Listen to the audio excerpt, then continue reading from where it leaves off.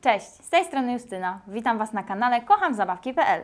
W dzisiejszym odcinku przyjrzymy się Transformerowi z serii czwartej. Jest to Mega Bumblebee. Zabawka jest od firmy Hasbro, przeznaczona dla dzieci od 5 roku życia. Bumblebee to jedna z głównych postaci serii Transformers.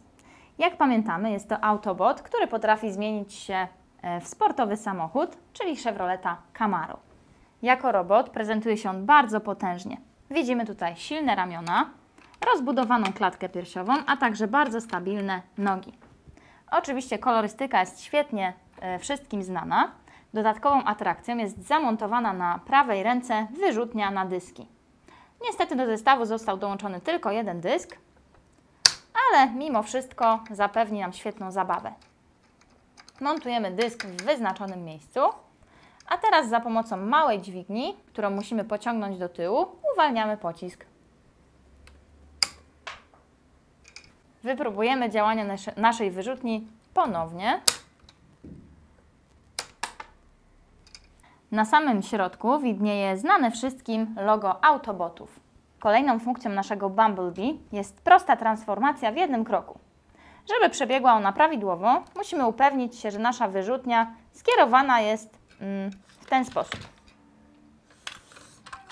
Teraz wystarczy podnieść jego nogę dokończyć transformację.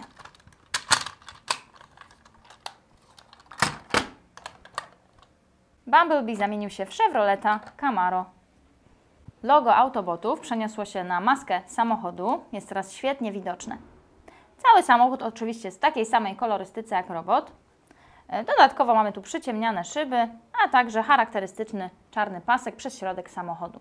Aby przemienić nasz samochód z powrotem w Autobota, wystarczy rozczepić jego tylny zderzak, a następnie pociągnąć elementy w odpowiednią stronę.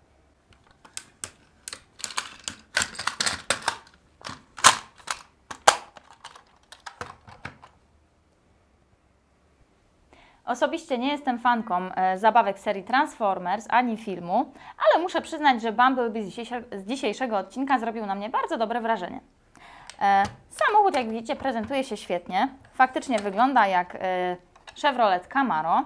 Mamy tutaj ciekawe elementy, takie jak przyciemniane szyby, ruchome koła, a także ładną kolorystykę.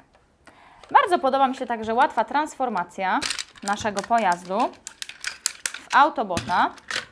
E, A kolejna ciekawa funkcja to oczywiście wyrzutnia dysków, e, która nie zawsze występuje mm, z tym bohaterem.